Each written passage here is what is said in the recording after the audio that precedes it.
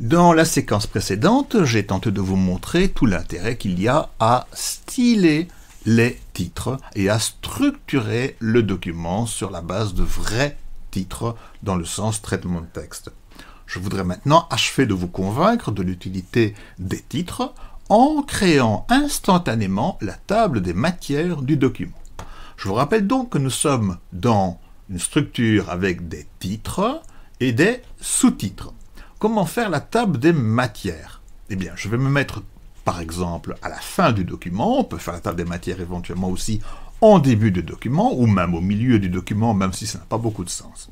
Je vais ouvrir un nouveau paragraphe, et à cet endroit-là, je vais maintenant insérer ma table des matières. Pour cela, je vais simplement dans Insertion,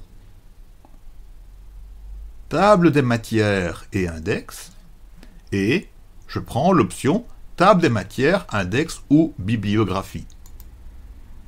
Une boîte de dialogue apparaît qui me propose toutes sortes d'options. Alors dans un premier temps, je ne vais pas m'en préoccuper, et je vais dire que tout cela est OK pour moi.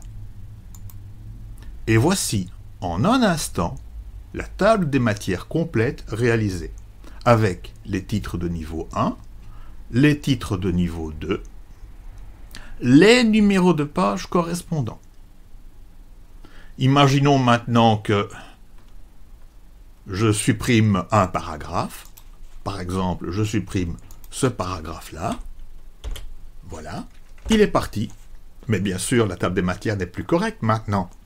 Le titre Comment installer le logiciel se trouve actuellement en page 3, alors que Comment installer le logiciel est annoncé comme étant en page 4. Qu'à cela ne tienne, un clic droit dans la table des matières, mettre à jour l'index, et le titre a disparu, et les autres pages se sont ajustées.